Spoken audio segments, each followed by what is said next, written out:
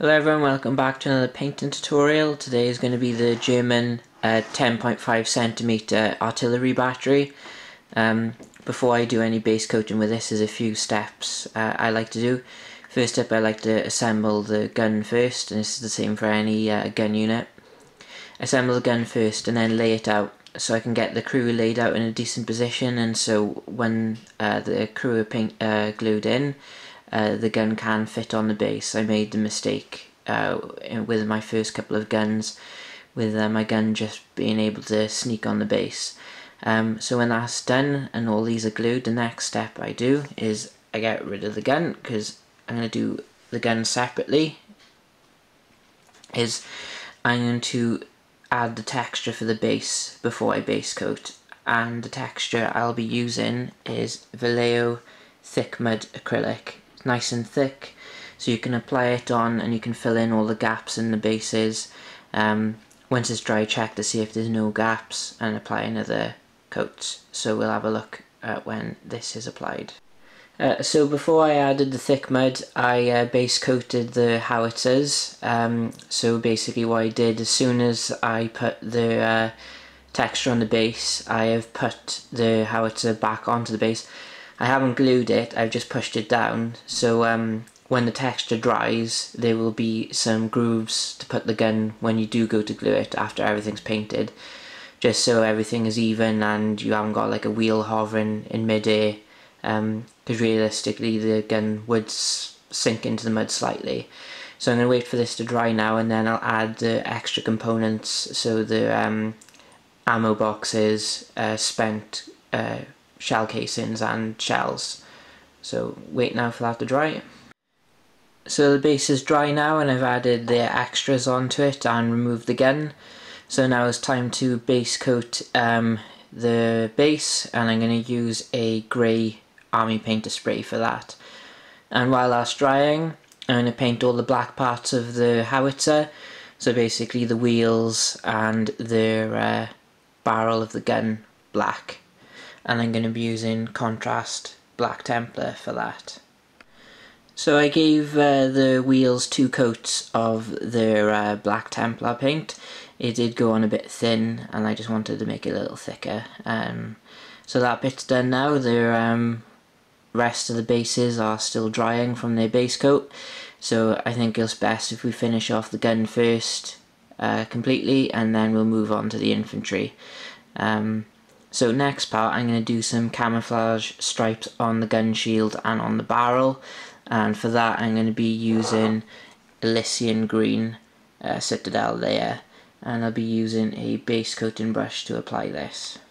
So that's the first stripe done, uh, wait for it to dry and then we're going to be putting some flanking colour using Citadel base Steel Legion drab and use a highlighting brush. So that is the Steel Legion drab going around the Elysian green. As you can see it does bring out the green against the uh, Panther yellow. Uh, next step now for the gun is to go over the tool handles with Citadel base Rhinox hide. I'd use a precise detail brush for this one because the tool handles are quite um, small. Okay, so let's have a look at that when that's finished.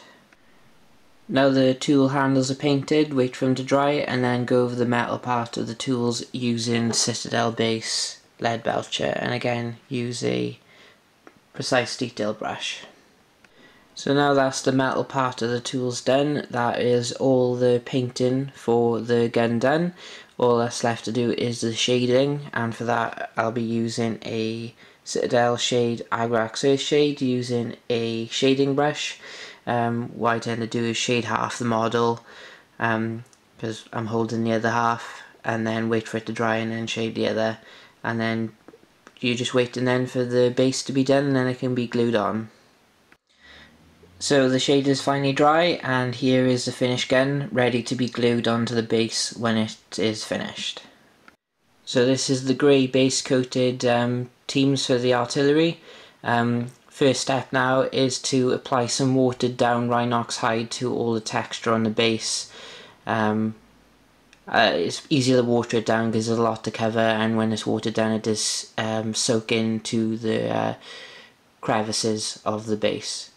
Uh, don't worry to go over too much on the infantry, infantry themselves because they're not painted yet. So the uh, texture on the base is all dry now. Um, I used a shading brush since I watered down the uh, quite a bit. Uh, I found the shading brush the best brush to use since it's the biggest one I've got and that got us done nice and quickly.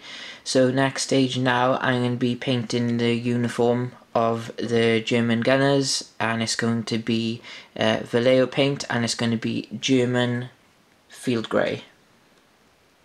World War Two.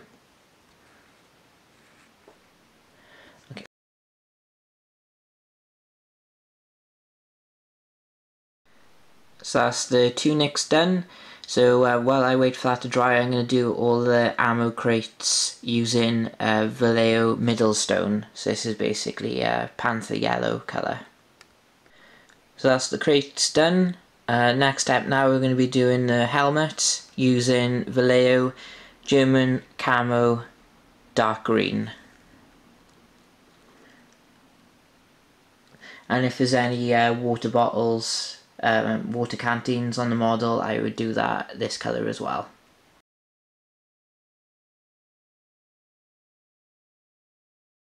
So that's the helmets done. Next step now we're going to be doing the boots, binoculars, the gaps in the ammo crates and uh, any shells on the model or on the base using Citadel Colour Contrast Black Templar. Uh, don't worry about the shells, there are more steps with that, it's just uh, the overall colour is uh, black that I can see on pictures I've looked at.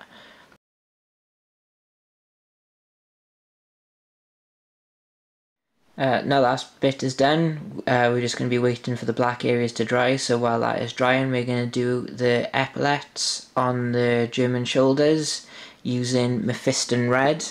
Um, using this colour because looking at their uh, box they came in, they they are using red for that.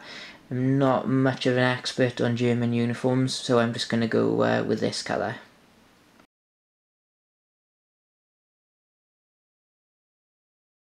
So that is the epaulets done. They look quite nice. The uh, if they if you think they're too bright on the model, don't worry. The shading should uh, dull it down quite a bit and blend it in with the rest of the uniform. So next we're going to do the gaiters using green grey and this is another Vallejo paint.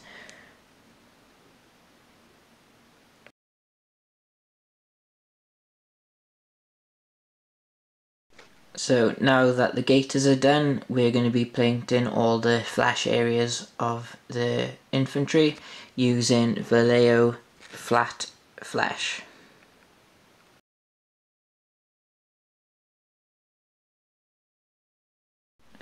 So that's all the flesh bits done. Don't worry if it looks a bit patchy, there's going to be a few more steps concerning the skin areas, so these bits will be covered up later on.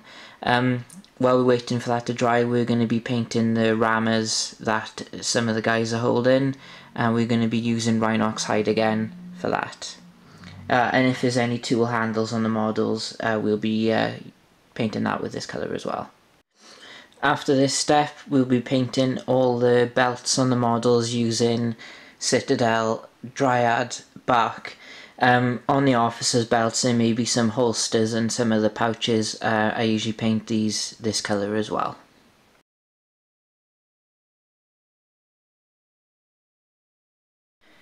Uh, now all the belts are done, uh, we're going to be doing the very bottom of the shell um, with Citadel Balthasar Gold. So basically this is the very bottom of the shallow. We'll take a photo once it's done and we'll have a look at that now. So that's what I meant by the bottom of the shell. There's a bit of a ridge, basically the ridge and everything below I did with Balthasar Gold. Uh, next step now, there's a little detail on the collar. Um, I'm going to be doing that with Citadel Dawnstone.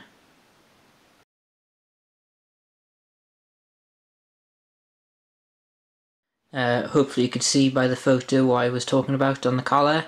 Uh, next bit, uh, we're going to be painting the belt buckles, the tips of the shells, uh, the binocular lenses and the ends of the ammo crate with Citadel base Leadbelcher.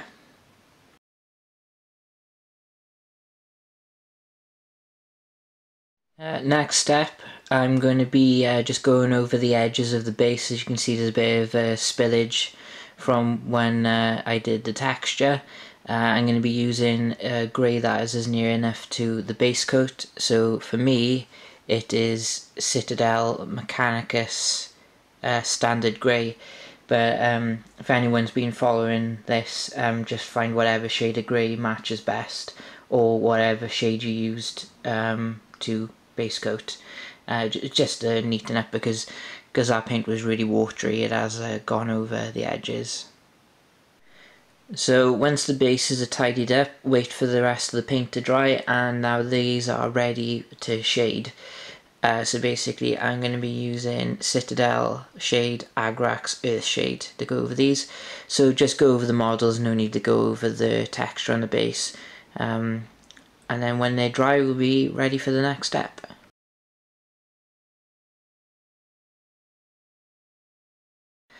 So now the shade is dried, we're going to be highlighting the flesh areas with Citadel Kislev Flesh. So the skin is highlighted, there's one more step for the skin, so while that dries I'm going to be highlighting all the brass bits and the shells using Colours of War shell brass.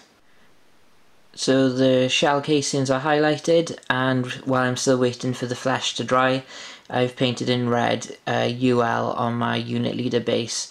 Uh, usually I have the guy uh, pointing out into the direction as my unit leader but just to make sure I'm quite clear who it is um, for my artillery units I put UL and for German units I tend to use red.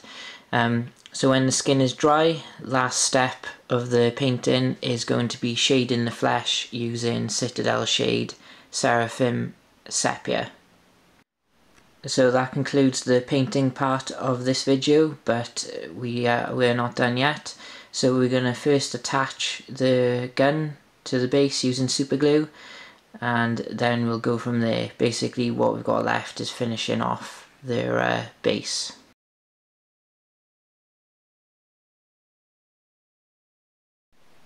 So now we have the gun super glued to the base. Um, you can all agree with me that the base is looking a bit sparse.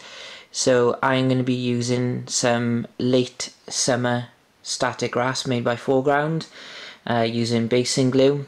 I'm going to apply this to most of the base. Uh, you don't have to use the same uh, colour grass as me, um, but this is what I prefer. So let's have a look at it when it's all on. So now the static grass is on the base, uh, the final uh, signature to this, I'm just going to add a, a, tuft of um, Army Painter uh, Winter Tufts. Um, any tuft will do, or so I, some uh, of my British bases I've been adding flowers to it, just a little extra thing, just add a bit of depth to the base, and then we'll, we'll be uh, done. And here we have the finished model, I, uh, I hope you all like it. Uh, obviously it takes a bit longer than tanks since you got two lots of models to paint. But I think um, if you do take your time with uh, the infantry models, they do look a lot better. Um, so I'll put a couple of photos at the end of this video. Um, any questions, anything I've missed? Um, what I'm going to be painting next is I've got some 5cm uh, tank hunters, so it's pretty much going to be exact same steps as this. After that I have nothing to paint, um, but um, my orders for next month, if the British D-Day book doesn't uh, yield any new models, will probably be some Mirkwood Elves from the Middle-earth strategy battle game, which will be a bit different to all of your uh, World War II types. So uh, I hope you enjoyed, and uh, subscribe please.